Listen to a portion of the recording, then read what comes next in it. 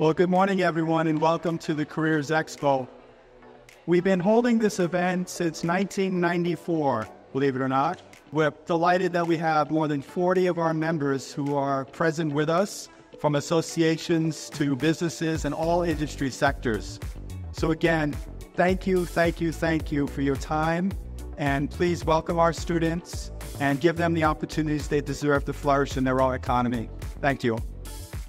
Today, we are here for the Chamber of Commerce Career Education and Training Expo. It's really exciting to see all of the businesses inside.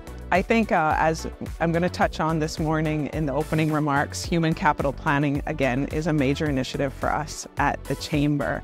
But over and above that, if there was anything I could say to the young folks coming in today, is it's not about the destination, it's about the journey take every opportunity you can to learn and develop yourself, even if you don't think it's worth it at the time or you think you're doing something for someone. It's all for you. So we have a few free programs uh, designed to expose and nurture um, technology careers. Uh, we have a free robotics camp that meets every month, um, and it's designed for students and learners who aren't sure whether they're interested in technology or not.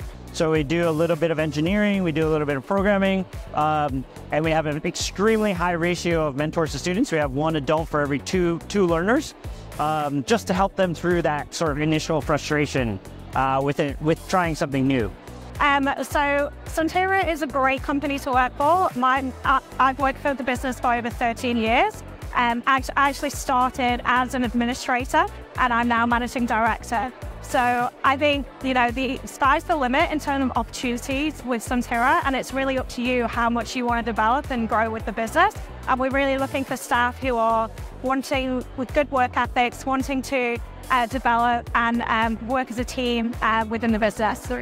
Today we are exhibiting Grant Thornton, just telling the kids a little bit about what we do and the services we provide. We're also telling them about our internship opportunities at Grant Thornton because applications are now open and they get a chance to experience different areas of our business, um, as well as our graduate opportunities as well for full-time employment um, for young students who have just finished university and are ready to start their accounting careers my advice to those who are seeking employment or school leavers would be to take advantage of all the opportunities that are out there.